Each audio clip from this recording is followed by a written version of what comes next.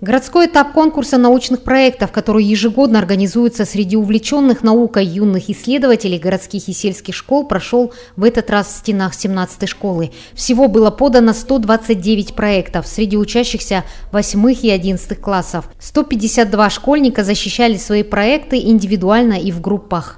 Негізі бұл жобаға 152 учащихся принимают участие в соревновании научных исследований и проектов. Из них 23 командных работы и 129 индивидуальных. Они представлены по 17 направлениям. В отделе образования отмечают активность участия сельских школьников, в частности в школах сел Боец, Аркамыс, Яхколь наблюдается рост числа учащихся, проявляющих интерес к науке. Темы представленных работ удивляли жюри разнообразием. Э, в том году мы поехали в область, заняли там второе место. У нас был проект, сайт, мы создавали, разрабатывали сайт Наруку, то есть это аналог сайта Канделик.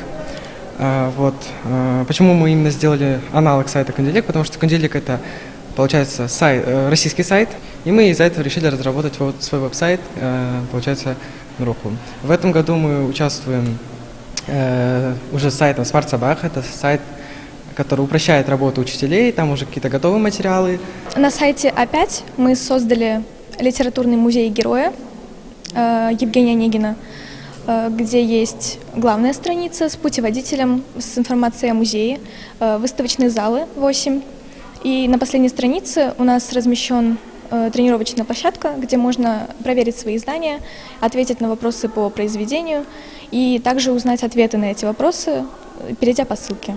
По итогу городского этапа конкурса из 88 призеров 39 учащихся получили путевку на областной этап, победители которого будут защищать свои научные исследования и проекты на престижном республиканском соревновании.